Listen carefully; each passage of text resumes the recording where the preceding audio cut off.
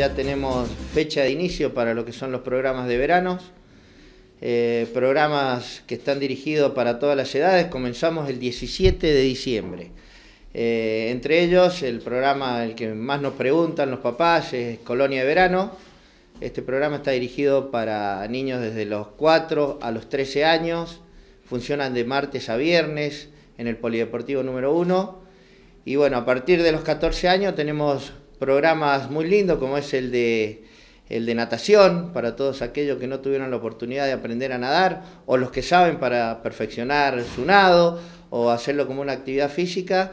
Eh, también tenemos ese programa que funcionan en horarios muy cómodos para todos aquellos que, quieran participar, como son eh, en horarios de 13 a 14 y después de las 20 horas. Y también el programa que también es muy elegido por, por muchos, como es el programa de Acuazumba.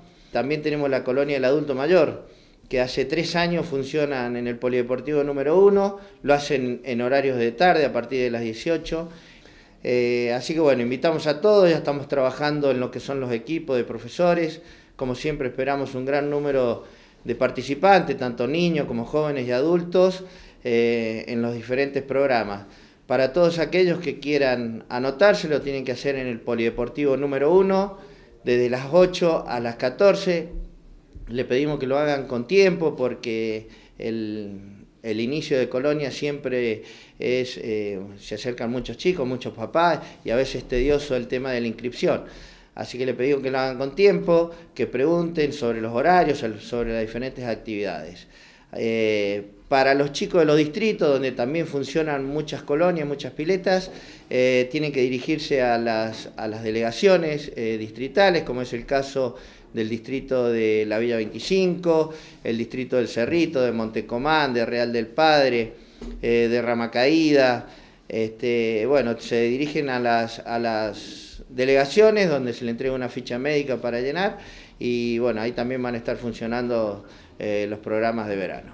Y bueno, como todos los programas, no es solamente la actividad de agua, si bien es la más importante, sino también contamos con un montón de actividades recreativas, deportivas, y donde aprovechamos de la parte de dirección de deporte hacer diferentes talleres para que conozca otro tipo de disciplinas deportivas y se ha producido ese puente donde eh, muchos eligen y se suman después en lo que es el calendario deportivo en esos deportes que conocieron y vivenciaron en Colonia de Verano.